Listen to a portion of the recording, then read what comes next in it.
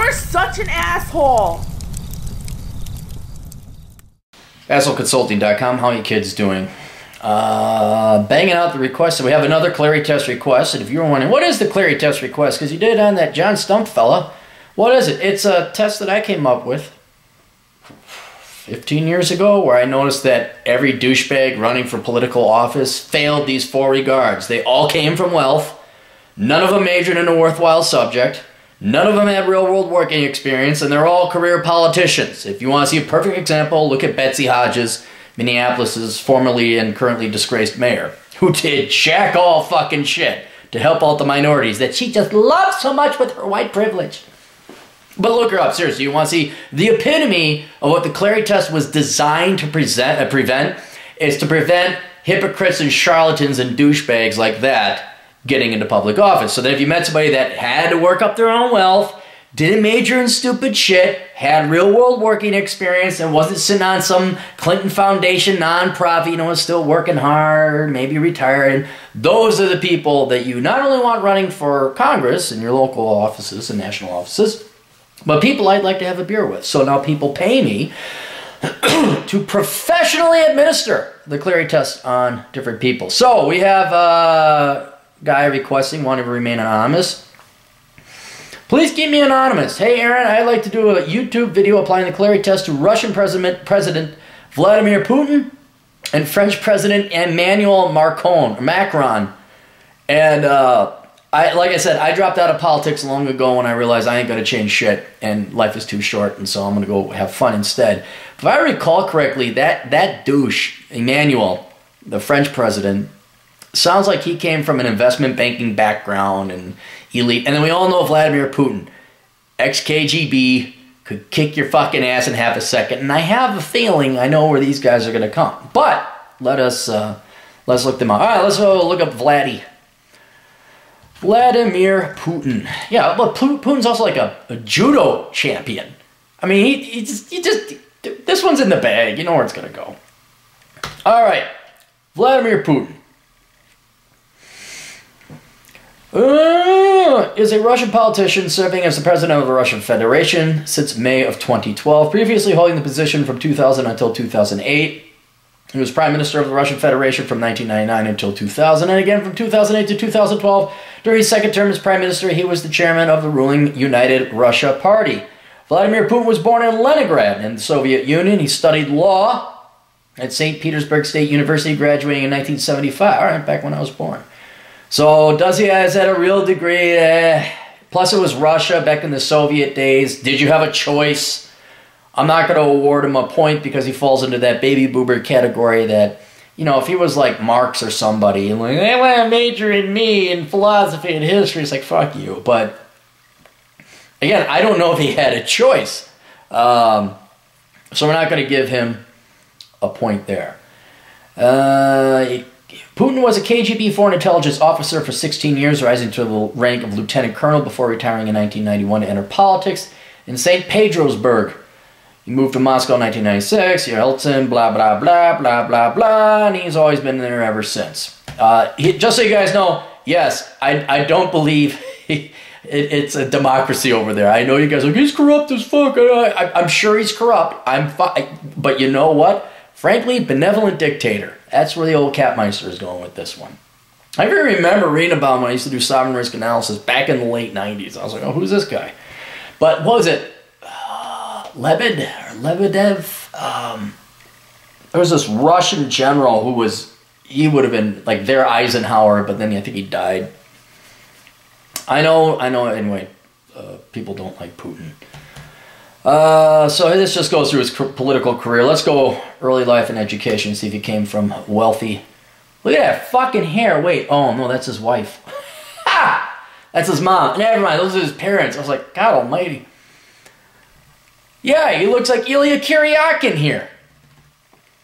Great movie, Man from Uncle. Check it out. Okay, Vladimir Putin, born 1952, youngest of three children, to Vladimir Spiridonovich and Mira Ivanova Putina. His birth preceded by the death of his two brothers, Victor and Albert, born in the mid 1930s. Albert died in infancy, and Victor died of diphtheria during the siege of Leningrad in World War II. All right. Putin's mother was a factory worker, and her father was a conscript in the Soviet Navy, serving the submarine fleet in the early 1930s. Early in World War II, his father served as a destruction battalion in the NKVD. Uh, wounded, maternal grandmother was killed by the German occupiers. He did, he did not come from Winnetka. He did not have take Obama and multiply him by a negative one, or Justin Trudeau and multiply him by a negative one, and you get Vladimir Putin. Uh, 1960. Okay, so he did not come from wealth. Okay, so no point of order there. That's good. Uh, started school number 193 at Baskov Lane near his home. One of the few out of his approximately 45 pupils who was not yet a member of the Young Pioneer Organization. That's like the Boy Scouts over there, but the communist arm. At age 12, he began practice sambo and judo, his judo black belt and national master of sports in sambo. He wished to emulate the intelligence officers portrayed in Soviet cinema. Putin studied German at St. Petersburg High School 281 and speaks German fluently. Putin studied law at St. Petersburg State University in 1970, graduated 75. His thesis was on the most favored nation trading principle in international law. Uh, while there, is required to join the Communist Party of the Soviet Union and remain a member until December 1991. Ba-da-ba, ba-da-ba, ba-da-ba. So he graduated from college and he went right into the KGB, uh, where he stayed until 1991, and then he entered uh, politics. All right, so uh, I, he probably has a much more interesting background, but for the sake of expediency, let's just apply the test. Did he come from wealth? No. Zero points awarded. Did he major in stupid shit? Again, like John, back in the day, pretty much any degree was a degree, a good degree. Plus, this was Soviet Russia, and I know you millennials think everything's just rosy and kosher over there. Uh, but he, I'd almost say anything pre 91, it didn't matter what you majored in in Russia or the Soviet Union. Uh, so he's not going to get a point awarded there. Does he have real world working experience? Yeah, he's in the fucking KGB. And you may say, oh, that's government work, but I, I don't know if you knew this or not, little kids of millennial generations who can't just get enough communist dick. There is no private sector in communism. You're all working for the state. Although I understand if, you know, you're a truck driver or a mechanic. But, um, so he was uh, in the KGB. He uh, got into politics in 1991, and then with Boris Yeltsin and all that was somewhat instrumental in ending Soviet Empire and Gorbachev. Um, all right. So he's been in politics coming up on 30 years now, just shy of 30 years. Uh, and that's why I'm going to have to award him a point. Uh, because inevitably you'd like to be like, uh, was it Nigel Farage? You, would like to quit. You'd like to quit. And the guy, I mean, he's got some corruption, no doubt about it. Um, billionaire, he's got companies invested, the oligarchs. Look at when, from 91 to basically 2000, it, various criminal organizations and political organizations ended up with all the assets privatizing. Oh my God! And so uh, Putin, I think, is what is his net worth? Did they list it? Boris Yeltsin, Boris Yeltsin, where's his net? God Almighty! Look at all this stuff. You don't become a billionaire on a KGB salary. I'm sure we'll get wild estimates as to Vladimir Putin's Putin's net worth. Uh, uh, striking a world's estimated 84 billion. One less credible critic says Putin's real net worth could be as high as 200 billion. Okay, so he got his hands in on some of the uh, the privatized assets of the former Soviet Union.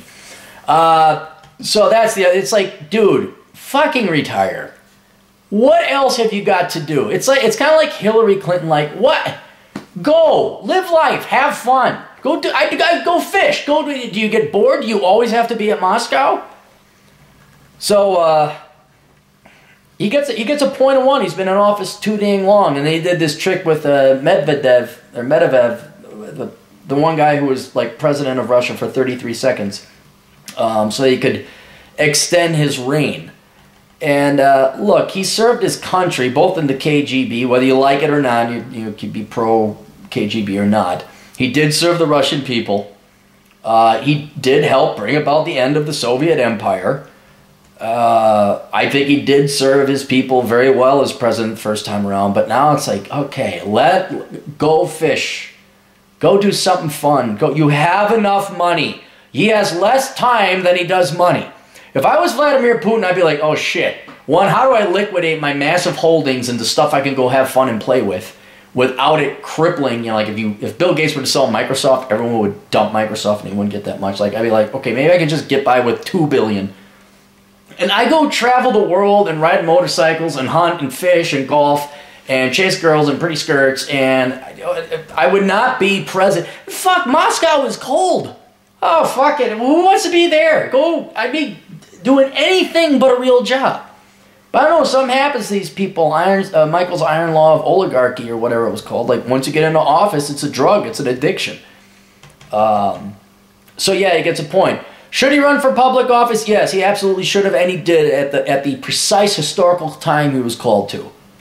Um, he would be looked favorably upon uh, I would say historically he's going to be looked as favorably upon on the par as uh, Peter the Great. Uh, what was it? I did listen to the Russian ruler's history pod. Not Ivan the Terrible. Who were some other big ones? Everyone knows Catherine the Great. That's just because there's the Great at the end of her uh, name. But it, yeah, it's it's time for him to go, and that's why he's going to get a point. Would I like to have a beer with him? Hell fucking yes, I would. Absolutely. I would love to just sit and chill with Vladimir Putin. Um, just to like, okay, dude, you got what? What stories couldn't he tell? What could he not? What was it like being in the KGB? Oh my gosh, what cool stuff was going on there? Did you guys have this crazy? What was the spy stuff going on? And then, what's it like being a judo champion? And uh, holy shit, what was that like? Switching from communism to capitalism, what underhanded dealings, and when you guys fired the tank rounds into the fucking parliament because of the fucking communist dickheads trying to take over. And how much did Boris Yeltsin drink? A lot, by the way, in case you were wondering. So we got that. All right, so that's it. Vladimir Putin won. Uh, would love to have a conversation with him. Emmanuel Macron. Oh, is, why do I just sense this is not going to be as fun?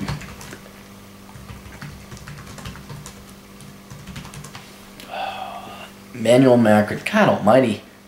Looks to be my age and even. Oh, he's younger than me. Oh, look at that haircut. All right.